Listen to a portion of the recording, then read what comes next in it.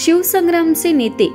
विनायक मेटे यांचं अपघाती निधन हे मनाला चटका लावणार. आहे मराठा समाजाच्या आरक्षणासाठी आयुष्यभर संघर्ष करणारे मराठा तरुणांच्या मनावर ठसा उमटवणारे लाडके नेते म्हणून त्यांची सर्वत्र ओळख होती.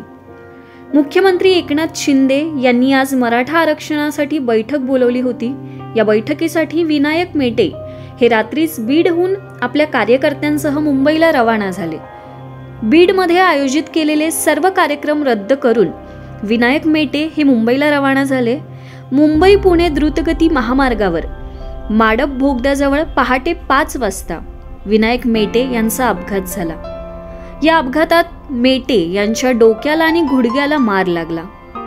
पहाटे पाच वाजता विनायक मेटे यांच्या गाडीला एका मोठ्या गाडीने डाव्या बाजूने धडक दिली. ट्रकच्या बंपरमध्ये आमची गाडी अडकली आणि आम्हाला फरफटत नेलं असं त्यांच्या गाडीचे चालक एकनाथ कदम यांनी सांगितलं. यानंतर सुमारे तासभर वैद्यकीय मदत मिळाली नसल्याचा आरोप मेटेनचे चालक एकनाथ कदम यांनी केलाय.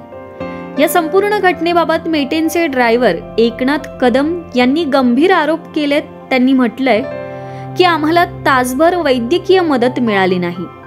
मी गाड्या थांबवण्यासाठी रस्त्यावर झोपलो पण तरीही गाड्या थांबल्या नाहीत. मला मुका मार लागलाय बॉडीगार्डला थोडा मार बसलाय.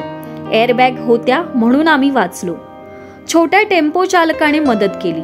आम्ही दरेकरांच्या बॉडीगार्डला फोन केला तेव्हा यंत्रणा हल्ल्या. मेटेनचे ड्रायव्हर एकनाथ कदम यांच्या आरोपांनंतर मेटेनचा अपघात झाल्यानंतर त्यांना तासभर मदत का मिळाली नाही?